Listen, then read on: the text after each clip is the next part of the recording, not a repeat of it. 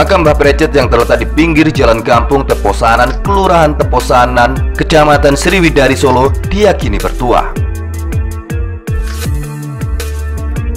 Banyak cerita mistis yang dialami warga di sekitar area makam. Salah satunya diceritakan oleh Saryanti warga Cemanik Grogol Sukoharjo. Dia sempat tinggal di kawasan Sriwedari pada tahun 1969 hingga 1982. Dia menyebutkan kerap ada orang yang kenduri di makam Mbah Precet tersebut. Bancaannya memakai lemper, sambar goleng tolo, serta lontong dan kerupuk merah. Yang menjadi poin adalah mengikuti bancaannya Mbah Precet. Karena kalau tidak ada ritual bancakan, dipercaya orang yang mempunyai hajatan di tempat tersebut selalu ada halangan. Entah makanan yang disajikan tidak matang atau terjadi hal-hal yang tidak diinginkan Selianti juga mengenang dia juga banyak menerima kenduri dari orang-orang yang berziarah di makam Mbah Precet. Sebab di kala itu dia tinggal persis di sebelah barat Mbah Precet. Hanya bancaan pada nyenyuwun atau meminta Tidur-tidur atau ngalap berkah di makam tersebut. Hal yang sama juga disampaikan oleh Ketua RT 2 RW 2 Kampung Teposanan Sriwedari Laweyan Solo, Kardi Gardi menyebutkan banyak pengendara motor yang melintas di sekitar makam tiba-tiba menabrak tiang karena mengaku menghindari seseorang di lokasi tersebut.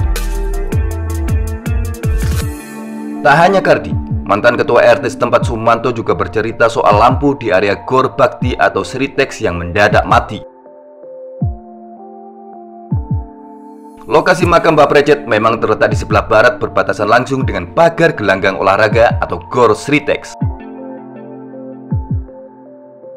Menurut penuturannya pernah suatu ketika ada mobil yang tidak sengaja parkir di atas makam tersebut. Akibatnya lampu di dalam gor bakti atau Sritex padam. Setelah mobil itu dipindahkan dari atas makam Mbah Precet, percaya atau tidak percaya, barulah lampu di area gor menyala kembali. Makam Mbah Precet ini biasanya ramai pada hari Selasa dan Jumat. Biasanya sekitar pukul 9 malam Ada orang yang datang untuk berdoa maupun menebar bunga di makam tersebut. Lokasi makam Mbah Precet mulanya merupakan bekas area pemakaman. Makam-makam di area tersebut kemudian dipindah ke lokasi lain pada sekitar tahun 1980-an Hanya satu makam yang akhirnya tidak bisa dipindahkan yakni makam Mbah Precet Sebelumnya Ketua Komunitas Sejarah di Solo yakni Solo Society Dani Sabtoni mengatakan berdasar cerita masyarakat Mbah Precet ini adalah seorang promocorah atau penjahat.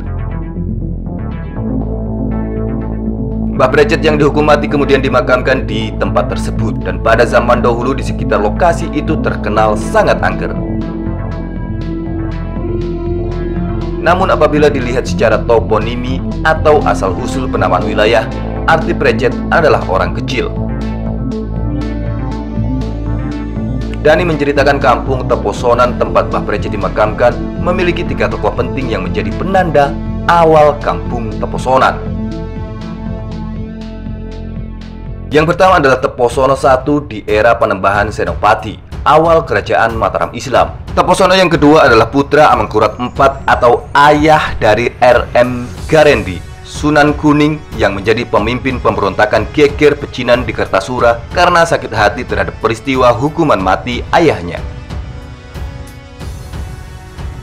Sementara Teposono yang ketiga adalah Teposono putra dari Paku Buwono keempat.